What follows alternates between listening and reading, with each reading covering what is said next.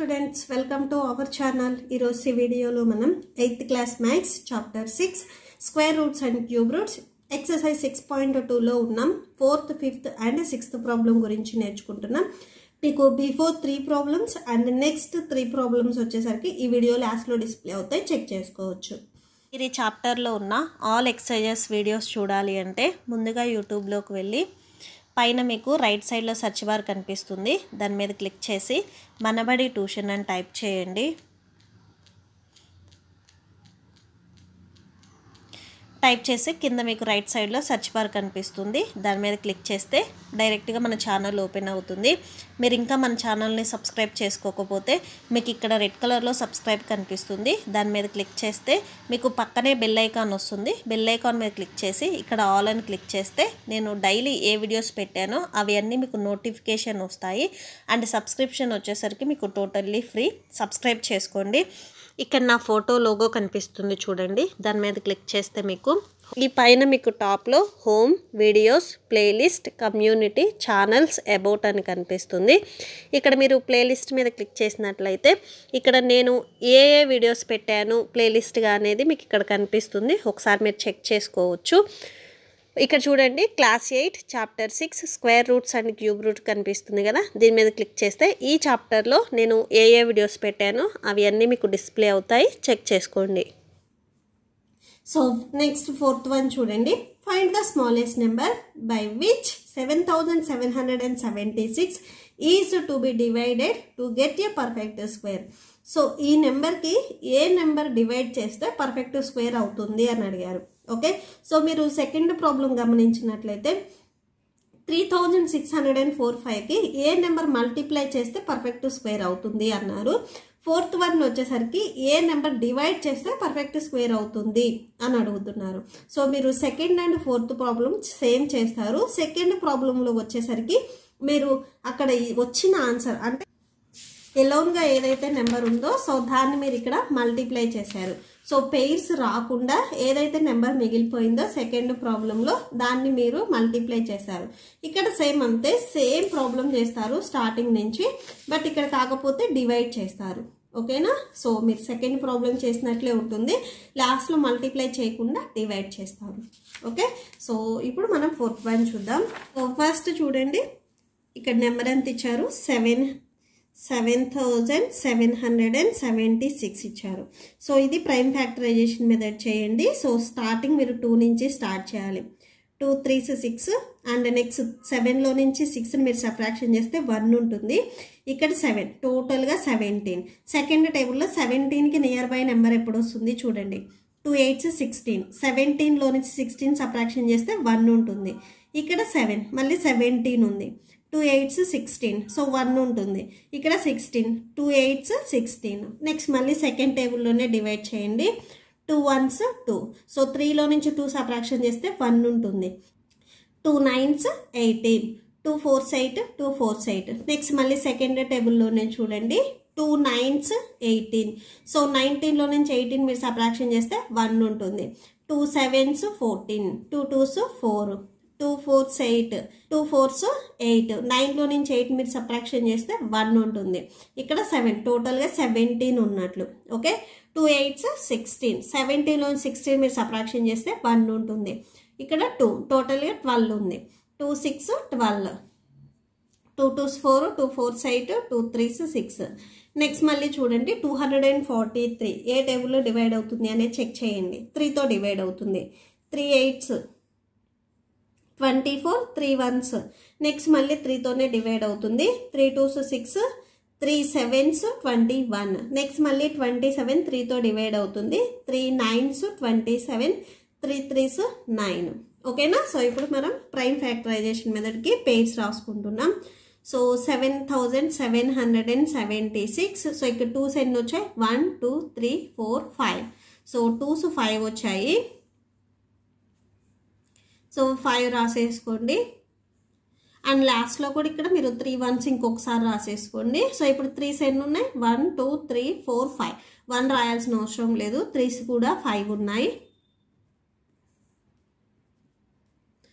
Okay same నెంబర్ని two two నెంబర్స్కి ఒక పేర్ రాసేసుకోండి. సో ఇక్కడ టూ అండ్ త్రీ ఉంది. సేమ్ నెంబర్గానే సేమ్ నెంబర్స్ని మనం పేర్స్ రాసుకోవాలి. ఓకే సో ఈ నెంబర్స్ మనం పేరు రాయకూడదు. సో ఇక్కడ చూడండి.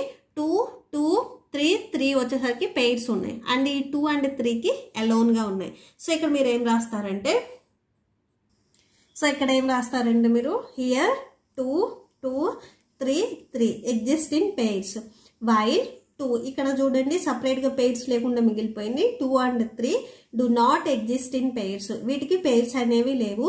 So we must divide the given number by two into six ఇక్కడ ఉన్న నెంబర్స్ ఏవైతే మిగిలిపోయాయో పేర్స్ లేకుండా వాటిని మల్టిప్లై చేయండి సిక్స్ వస్తుంది. అంటే ఇప్పుడు మనం ఈ ఇచ్చిన గివెన్ నెంబర్ని సిక్స్తో డివైడ్ చేస్తే మనకి పర్ఫెక్ట్ స్క్వేర్ అనేది వస్తుంది. ఓకేనా సో డివైడ్ చేయండి. Seven thousand seven hundred and seventy six divided by six ఇది నార్మల్ డివిజన్ చేయండి. Six ones six. So divide చేసుకుంటే ఇక్కడ మీకు సప్రాక్షన్ చేస్తే సెవెంటీన్ వస్తుంది. సిక్స్ టూస్ ట్వెల్వ్ వస్తుంది. సో సెవెంటీన్లో నుంచి ట్వెల్వ్ని సప్రాక్షన్ చేస్తే ఫైవ్ ఉంటుంది. నెక్స్ట్ ఇక్కడ seven. Okay? So six nines. Fifty four. So fifty సెవెన్లో నుంచి ఫిఫ్టీ ఫోర్ని మీరు సప్రాక్షన్ చేస్తే త్రీ వస్తుంది. నెక్స్ట్ ఇక్కడ సిక్స్ ఉంది కదా లాస్ట్లో so six రాసేసుకోండి. Okay? So six six thirty six. So ఏంటి దా నెంబర్ వచ్చేసరికి twelve hundred and ninety six. Twelve hundred and ninety six answer వచ్చేసరికి ఓకే? సో ఇక్కడ రాసేసుకోండి.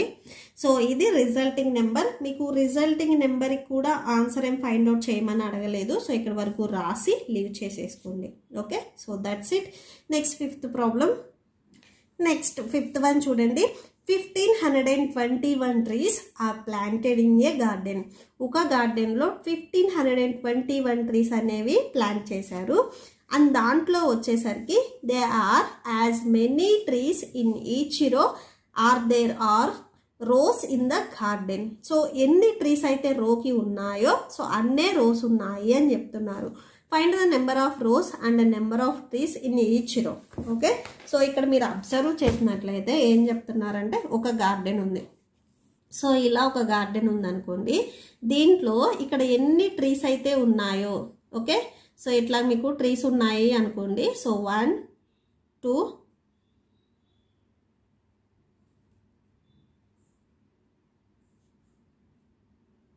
okay so ఇలాగా గార్డెన్లో ఫోర్ ట్రీస్ ఉన్నాయి అనుకోండి ఒక రోకి. సో రోస్ కూడా అన్నే ఉన్నాయని చెప్తున్నారు. అంటే ఫోరే ఉన్నాయి. ఓకే? సో రోస్లో ఎన్ని ప్లాంట్స్ అయితే ఉన్నాయో అన్నే రోస్ ఉన్నాయని చెప్తున్నారు. ఇక్కడ ఒక రోకి ఫోర్ ప్లాంట్స్ ఉంటే రోస్ అంటే రోస్ నెంబర్స్ కూడా ఫోరే ఉన్నాయని చెప్తున్నారు. ఇవి రెండు ఈక్వల్ అని చెప్తున్నారు.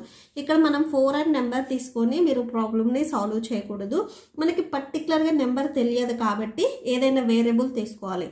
లైక్ ఎక్స్ వై ఆర్జెడ్ ఏదైనా తీసుకోవచ్చు. అది మీ చాయిస్. నేను ఎక్స్ తీసుకుంటున్నాను. సో ఇక్కడ రాసేసుకోండి. Let the number of trees planted in a garden for each row so each రోకి ఎన్ని ట్రీస్ ఉన్నాయని చెప్తున్నారు? రోస్ అండ్ అందులో ఉండే ట్రీస్ ఈక్వల్ అని చెప్తున్నారు. ఇక్కడ నేను ఎక్స్ అని తీసుకుంటున్నాను. నేను తీసుకుంటున్నాను కాబట్టి సే అని రాసేసుకోవచ్చు. ఓకే సో నెక్స్ట్ చూడండి నెంబర్ ఆఫ్ రోస్. గార్డెన్లో ఎన్ని రోస్ ఉన్నాయని కూడా చెప్పలేదు. ఇవి రెండు ఈక్వల్ అని చెప్తున్నారు. Number of rows in the garden. So రెండు ఈక్వల్ అన్నారు కాబట్టి రెండు ఎక్సే తీసుకోవాలి. ఓకే? ఒకటి ఎక్స్ ఒకటి వై తీసుకోకూడదు. రెండు ఈక్వల్ అన్నారు కాబట్టి రెండు సేమ్ తీసుకోవాలి. Okay? So total number of trees ఎన్ని ఉన్నాయని చెప్తున్నారు? Total number of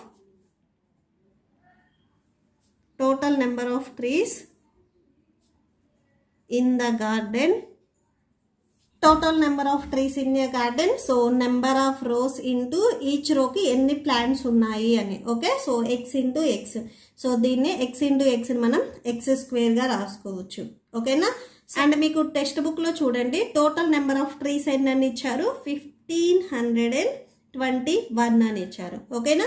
సో అంటే ఈ ఎక్స్ స్క్వేర్ వాల్యూ వచ్చేసరికి ఫిఫ్టీన్ హండ్రెడ్ అండ్ ట్వంటీ వన్కి ఈక్వల్ అవుతుంది. స్క్వేర్ని మీరు ట్రాన్స్పోజ్ చేసుకున్నట్లయితే రూట్ అవుతుంది. రూట్ని ట్రాన్స్పోజ్ చేసుకుంటే స్క్వేర్ అవుతుంది. స్క్వేర్ని ట్రాన్స్పోజ్ చేసుకుంటే రూట్ అవుతుంది. So X equal to root of fifteen hundred and twenty one మనం సేమ్ నెంబర్ మల్టిప్లైగా అంటే థర్టీ నైన్ ఇంటూ థర్టీ నైన్గా రాసుకోవచ్చు. మీ టూ మీరు ఈ టూ నెంబర్స్ని మల్టిప్లై చేస్తే ఇదే వస్తుంది. Okay? So x equal to root of thirty nine into thirty nine so same numbers ఉన్నాయి కాబట్టి స్క్వేర్గా రాసేసుకోండి.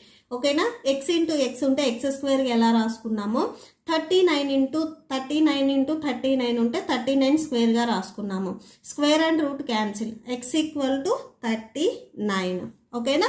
సో ఈ ఎక్స్ మనం ఏం తీసుకున్నాము? ప్లాంట్స్ తీసుకున్నాము. ఈచ్ రోకి ఈచ్ రోకి ఎక్స్ ప్లాంట్స్ ఉంటాయని. అంటే ఈచ్ రోకి వచ్చేసరికి థర్టీ నైన్ ప్లాంట్స్ ఉంటాయి. అండ్ నెంబర్ ఆఫ్ రోస్ కూడా వచ్చేసరికి థర్టీ నైన్ సో లాస్ట్లో కన్క్లూడ్ చేయండి. Number of trees for each row thirty equal to thirty nine next number of